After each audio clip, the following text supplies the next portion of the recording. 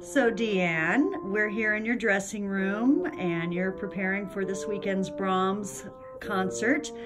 Tell us a little bit about this special instrument that you'll be playing this weekend. Oh wow, this special instrument is the Krasner Del Gesù, uh, 1727. And this instrument has such a beautiful, warm voice and is meant for concert halls such as the Smith Center. So I'm very excited to play it. Andy and I've been uh, rehearsing together and getting really excited. He's excited about this instrument. Um, this instrument was uh, owned by Louis Krasner, who was a famous violin soloist in the 20s, 30s, 40s. Um, he premiered the Berg Violin Concerto on this instrument. And in fact, Berg actually wrote the opening of his concerto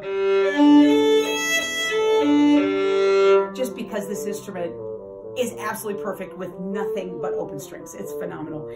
Um, love playing on this instrument. It's fantastic. Uh, Krasner was not only a soloist, but he was also a concertmaster of the Minnesota Orchestra back in the late 40s, early 50s, and then went on to teach, I believe, at the Boston Conservatory. And so he was a teacher as well. And I like to think that's kind of what I do as well. I'm teaching, I'm the concertmaster, and I love to play solo as well. So I feel like this instrument's a total match. Can't wait to hear you on Saturday night. Oh, we're so excited. Thank you. Hope to see you all there.